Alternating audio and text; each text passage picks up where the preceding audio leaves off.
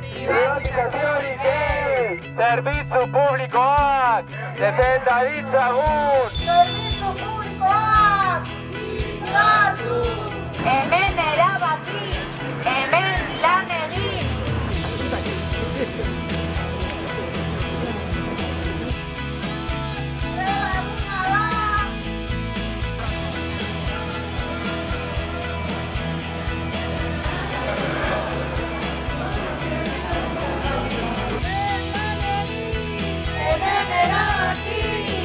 Euskal Herriko enplegu publikoaren egoerari dagokionez esan behar dugu alde batetik Madrileko inposaketa ditugula eta beste alde batetik berko, bertoko erakundeen partetik pues dekogu negoziazio kolektiboaren urraketa, ez digute negoziazio kolektibo eskubidea onartzen eta beste alde batetik zerbitzu publikoak desmantelatzen ari dira.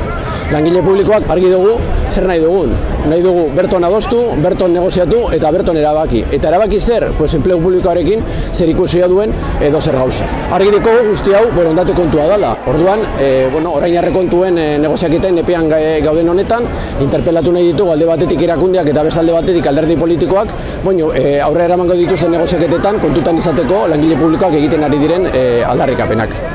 Zerbitzu publikoetan borroka ugari egiten ari gara eta bueno, sindikatuen partetik erabaki gendun e, urriaren hogeita bostean eta, eta gaur bertan grebak e, deitzearena bus, egiten ari ginen borroka guzti horien batuketa bat egiteko. Esan behar dugu e, bueno, langile publikoak ez, e, bueno, ezin hobea izan den erantzun eman diotela bai hogeita bostekoari bai gaurko egunari ere eta mezu e, argi e, bidali dietela gure agintariei.